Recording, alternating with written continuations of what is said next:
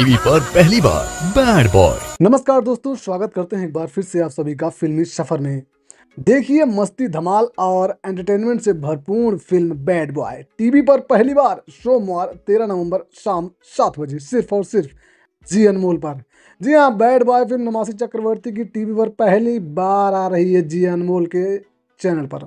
और आप सबके टीवी पर यह फ़िल्म देखने को मिल जाएगी। मिथुन चक्रवर्ती के छोटे बेटे की पहली और superhit film bad boy, TV पर, जी अनमोल पर पहली बार 13 नवंबर को शाम सात बजे आएगा। इसका प्रोमो भी आउट हो चुका है, जहाँ पर मिथुन चक्रवर्ती साहब अपने बेटे की तारीफ़ कर रहे हैं। रियल लाइफ को लेकर तो वहीं फ़िल्म में वो बेटा उसी का अपोजिट करते हुए नज़र आ रहा है। फ़िलहाल फ़िल्म भाई साहब, मैंने तो देखी है, लाजवाब, शानदार, बेमिसाल फ़िल्म है। और अब टीवी पर आ रही है तो आप सबने नहीं देखी होगी। जो लोगों ने नहीं देखा होगा, वो टीवी पर जी अनमोल पर। जी हाँ टीवी चैनल जी अनमोल पर यह फ़िल्म आ रही है तेरह नवंबर शाम सात बजे। और इस फ़िल्म को आप सभी लोग को देखना है।